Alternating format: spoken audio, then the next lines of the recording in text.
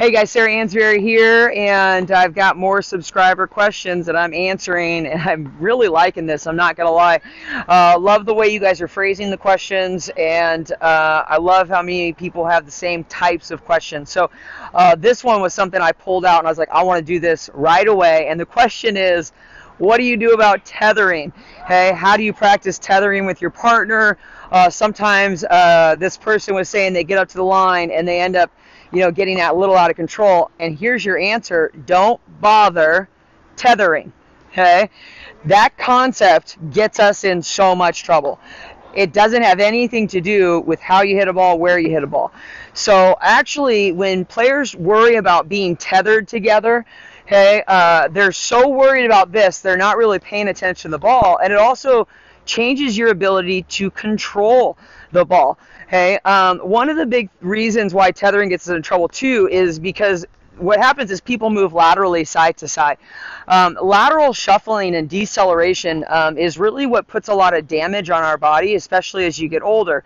Uh, your ankles, your hips, your knees, all of that, um, that motion that you're worried about right there, uh, it, it just hurts us. And uh, when people start to do this a lot, they start to compress and it makes it very heavy, puts a lot of strain on your back.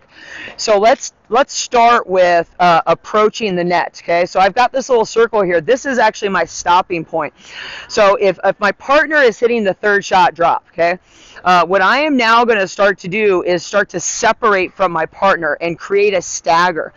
Okay, why this is important is because now what my partner is doing is they're trying to create an opportunity what I'm doing is I'm putting pressure, but I'm creating some distance between us. So let's say my partner hits an amazing third shot, and now that ball becomes a floater. Now from this point, I can now have room to accelerate and poach that position.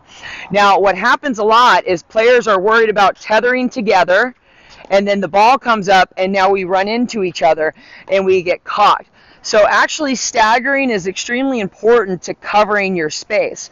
So let's say my partner is back there. Okay, what she really needs to do is put that ball in front of me. So we have no middle issues. Okay, now if she puts that ball over there, over there, that is going to open up the middle. Uh, but basically what we're looking at is when I kind of pause here, I can now go this direction or I can go this direction.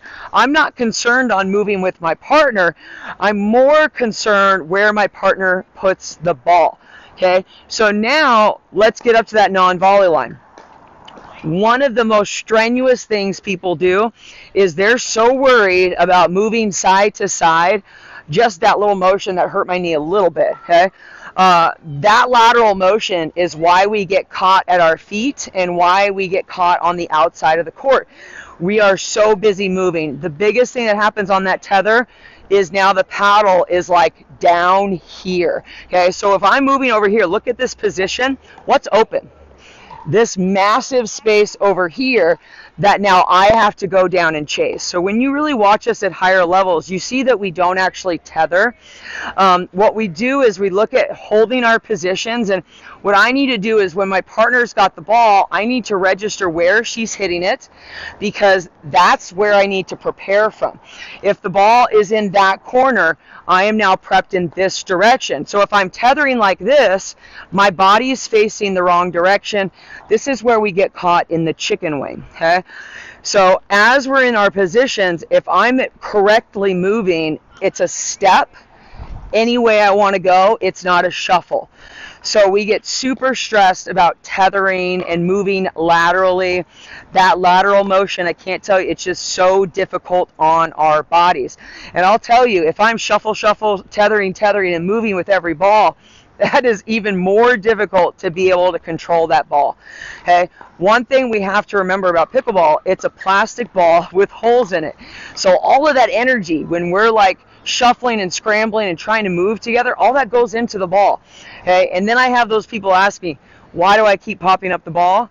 There's your answer. Way too many moving parts. Okay. What we want to do is stabilize the body so we can see what's going on, move to the ball, when we want or need to move to the ball. Okay? It's going to be a whole lot easier in your body. You're going to see a lot more of what's going on around you, and you're going to be a whole lot less stressed out.